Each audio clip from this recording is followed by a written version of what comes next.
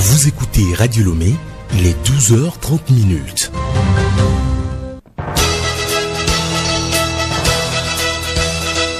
Le journal Hélène Assabi.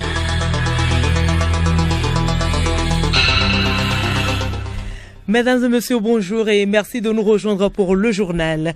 À la une, la campagne de vaccination contre le coronavirus se renforce davantage au Togo. Le ministre de la Santé a réceptionné 50 000 doses de vaccins Pfizer ce week-end. Pendant ce temps, la deuxième vague de vaccination dans le pays se poursuit. Comment se déroule l'opération? La réponse dans ce journal. Le Mali est suspendu de la CDAO. L'organisation sous-régionale réunie en sommet extraordinaire hier réclame la nomination d'un Premier ministre civil ainsi que la formation d'un gouvernement inclusif pour poursuivre les réformes. Une décision qui satisfait les responsables politiques qui redoutaient des sanctions économiques.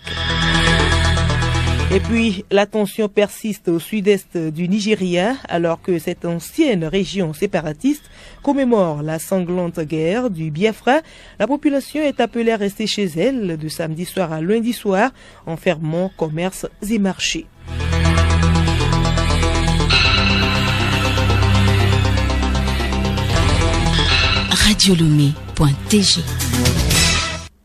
Mesdames et messieurs, une fois encore, bonjour. Ouverture ce matin à Lomé d'une session de formation, de renforcement des capacités des acteurs du transport routier des États membres de l'UMOA.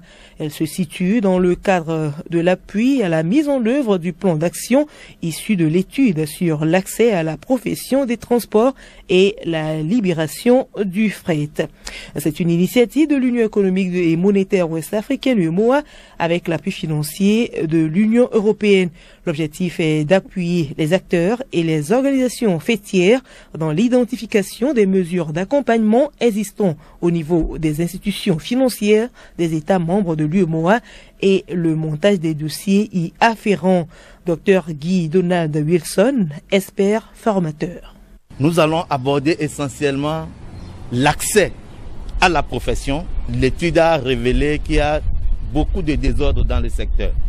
Comment gérer une compagnie de transport routier, quels sont les financements qui existent et comment peut-on accompagner les acteurs afin qu'ils puissent bénéficier de ces financements?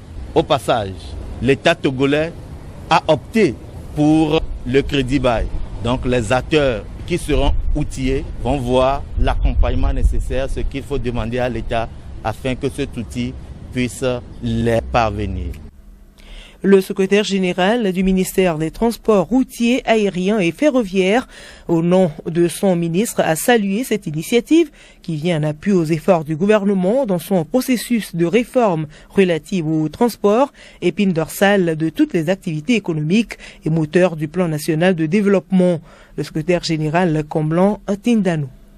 Cette session de formation constitue un jalon important vers la réussite du programme de politique de transport qui a pour ambition de promouvoir la réforme du secteur des transports et faciliter le renforcement des capacités de gestion, garantissant ainsi un système de transport sûr, fiable et économiquement sain, aidant ces acteurs à accéder au marché et aux services de nos pays à intégrer la compétition internationale. Elle cadre ainsi avec la feuille de route 2020-2025 du gouvernement, notamment en son ambition 5, à affirmer la place du pays en tant que hub logistique et de services. Je vous l'annonçais en titre, le Togo a officiellement reçu ce week-end une cargaison de plus de 50 000 doses de vaccin Pfizer. La livraison, qui représente la moitié du lot prévu dans le cadre de l'initiative COVAS, a été réceptionnée à l'aéroport de Lomé par le ministre de la Santé en présence de diverses personnalités. Le pays conscient de l'importance de la vaccination dans la lutte menée contre la COVID-19 fut l'un des tout premiers pays au monde à recevoir les premiers lots de vaccins COVAX à sa seconde base de vaccination aujourd'hui. Quelle est l'attitude de la population face au vaccin Élément de réponse dans ce magazine de Grâce Goto. Peur, doute, réticence ont été les réactions des Togolais face à l'administration de la première dose de vaccin contre la COVID-19. Après cette première dose lancée en mars 2021, place donc à la seconde phase de vaccination. L'affluence dans les centres de vaccination est encourageant. Anator Edo, assistant d'hygiène diplômé d'État, chargé de la vaccination au CMS UTB circulaire. Il y a beaucoup d'affluence par rapport à la première dose. La deuxième dose se fait dans la formation sanitaire sans problème. Il y a aussi les équipes qui sont sur le terrain pour vacciner encore les gens sur le site par rapport à la première dose. On a eu une affluence hein, par rapport à la première dose. Les gens réclament même leur première dose. Mais bon, comme l'autorité n'a pas encore décidé à ce qu'on fasse la première dose, on leur donne rendez-vous, on leur demande aussi de s'enrôler. Si les doses sont disponibles, on peut passer pour la vaccination. Quel sort sera réservé à ceux qui n'ont jamais été vaccinés? Retrouvons M. Anato Edo.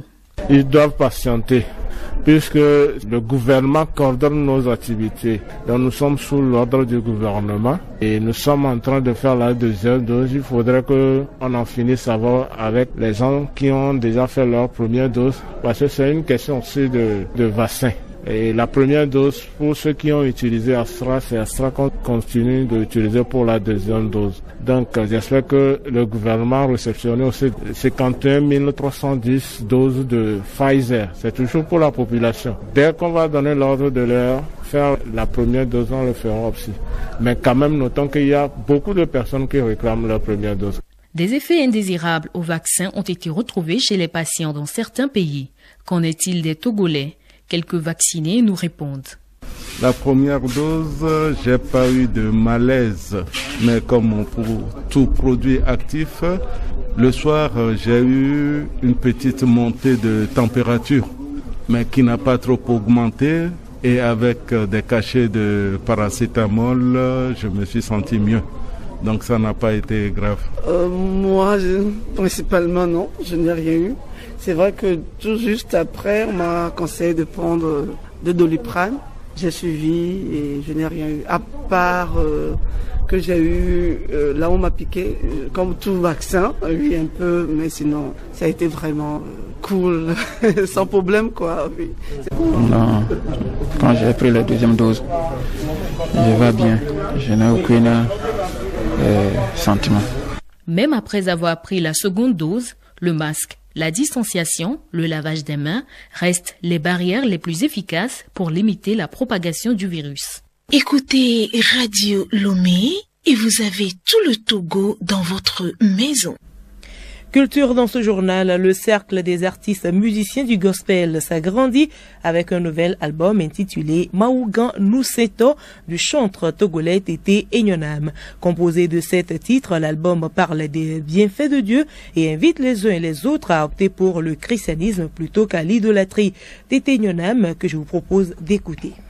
J'ai fait sortir mon album pour évangéliser la parole de Dieu. Les gens qui sont dans les mondains viennent en Christ. Il est temps que tout le monde donne sa vie en Christ. Beaucoup de gens sont encore dans l'idolâtrie. Ils n'arrivent pas à donner leur vie en Jésus. C'est à cause de ça que j'ai fait sortir mon album pour exprimer ce que je ressens pour que les gens viennent à travers mes chansons, ils viennent en Jésus. Ma chanson, premier album, signifie que Jésus est le plus grand. Parle que c'est Jésus la joie. Quand tu viens en Christ, tu as la joie en toi. Jésus t'appelle de venir vers lui. La dédicace de ce nouveau-né s'est déroulée hier à l'église évangélique presbytérienne de Bepa de Souza en présence de plusieurs fidèles et pasteurs. Révérend pasteur Dedeo Sunekaya donne son appréciation. C'est un sentiment de joie pour nous. Je juge le message qu'elle a traduit à travers ces chansons très bon on se retrouve dans notre culture. Nous sommes des chrétiens, nous devons être des chrétiens authentiques. On doit apprécier son courage pour qu'elle puisse aller de l'avant, parce qu'il n'a pas donné à tout le monde de le faire en ce moment de pandémie de coronavirus. Et nous poursuivons ce journal avec ce communiqué de la Direction générale de l'Agence nationale de la sécurité alimentaire du Togo en 7 qui porte à la connaissance des populations que la campagne de vente des produits céréaliers est ouverte sur l'ensemble du territoire national suivant le calendrier ci-après, de lundi à vendredi de 8h à 12h30 et de 14h30 à 16h, les samedis de 8h à 11h. Les prix de vente des produits sont fixés comme suit. Un sac de 50 kg de maïs, 9500 francs CFA. Euh, sac de 50 kg de sorgho, 10 500 francs CFA, sac de 50 kg de mil, 11 000 francs CFA, sac de 30 kg de riz, KR, 9 500 francs CFA, sac de 25 kg de riz local long grain, 13 000 francs CFA, sac de 25 kg de riz local brisure, 10 000 francs CFA, sac de 25 kg de riz local, couscous 7500 francs CFA et puis le sachet de 1 kg de farine de maïs est à 325 francs CFA. Sur les points de vente, le personnel de l'ONSAT et les clients sont tenus au respect scrupuleux des mesures barrières prises par le gouvernement togolais. Pour éviter la spéculation, le nombre de sacs à acheter par client est limité à deux au maximum. Pour toute information complémentaire, veuillez lire le quotidien Togo Presse. Le journal Hélène Assabi. Hors du Togo au Mali, c'est la joie donc dans le pays. La CDAO réunie en sommet extraordinaire à Accra hier n'a pas sanctionné le pays sur le plan économique. Les chefs d'État ont réclamé plutôt la nomination d'un Premier ministre civil ainsi que la formation d'un gouvernement inclusif. Le pays a été également suspendu de l'organisation. Les responsables politiques du Mali ont bien accueilli ces décisions. Marie-Claire Pagnon. Effectivement, la classe politique dans son ensemble s'est réjouie qu'aucune sanction économique n'ait été prononcée à l'encontre du pays par les chefs d'État de la CDAO. Pour Amidou Doumbia, responsable du parti Elema, qui a condamné le coup de force, ces décisions ne compromettent pas les pauvres citoyens qui auraient pu subir les conséquences des actes qu'ils n'ont pas posés. Du côté du M5RFP, à qui le poste de futur Premier ministre a été promis, une réunion est prévue pour définir une position commune. Mais pour un cadre du mouvement, le soutien de la CDAO pour accompagner le processus de transition en ne réclamant pas un nouveau président est un bon signal. Enfin, pour l'ADEMA, le respect des délais fixés en septembre dernier est primordial. Est primordial. Pour Adama Diarra, responsable du parti, il s'agit aujourd'hui de travailler afin que cette période d'exception dure le moins longtemps possible. Selon un chronogramme défini par l'ancien exécutif de transition, la future élection présidentielle doit se tenir le 27 février 2022, une date que la communauté des États de l'Afrique de l'Ouest exhorte à maintenir. Merci à vous, Marie-Claire Pagnot. Le sud-est du Nigeria est sous tension alors que l'ancienne région séparatiste commémore l'époque du Biafra en souvenir de la guerre sanglante à la fin des années 60 qui fit plus de millions de morts. En l'absence de commémoration officielle, le mouvement des peuples indigènes du Biafra a ordonné à la population de rester strictement chez elle de samedi soir à lundi soir en fermant commerce et marché. Du coup, la tension était palpable dans les rues désertes des États d'Anambra et d'Ebony hier. Au moins 127 policiers ont été tués et des dizaines de postes de police et de bâtiments publics ont été mis à sac depuis le début de cette année. Le service de renseignement américain NSA a espionné des responsables politiques en Europe, dont la chancelière allemande Angela Merkel de 2012 à 2014. C'est ce que rapportent les médias européens. La NSA a procédé par le branchement des câbles de télécommunication grâce au service secret du Danemark. Et parmi les pays espionnés figurent la France, la Norvège et la Suède.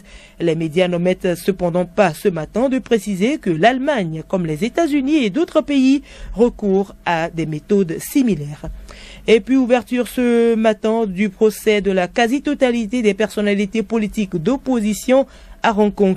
Ils sont accusés de subversion pour leur rôle dans des primaires non officielles en juillet 2020. Ce crime est passible de prison à perpétuité.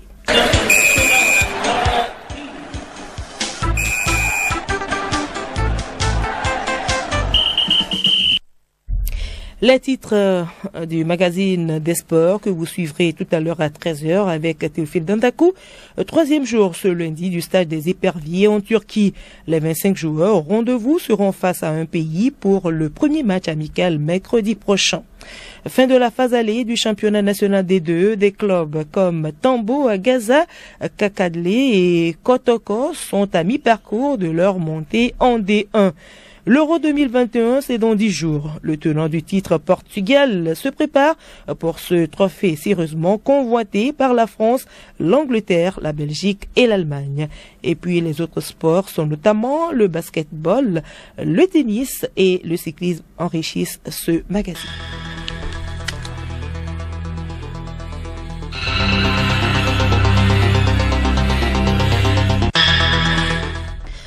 Fin de ce journal, merci à vous de l'avoir suivi. Le rappel des titres. La campagne de vaccination contre le coronavirus se renforce davantage au Togo. Le ministre de la Santé a réceptionné 50 000 doses du vaccin Pfizer ce week-end. Pendant ce temps, la deuxième vague de vaccination dans le pays se poursuit. Dans ce journal, vous avez pu écouter euh, quelques patients qui se sont fait vacciner. Le Mali est suspendu de la CDAO. L'organisation sous-régionale réunie en sommet extraordinaire hier réclame la nomination d'un Premier ministre civil ainsi que la formation d'un gouvernement inclusif pour poursuivre les réformes. Une décision qui satisfait les responsables, les responsables politiques qui redoutaient des sanctions économiques.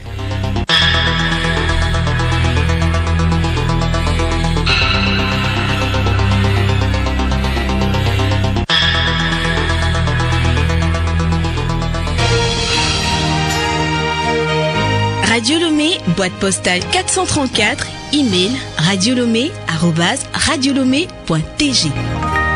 Radiolomé.tg.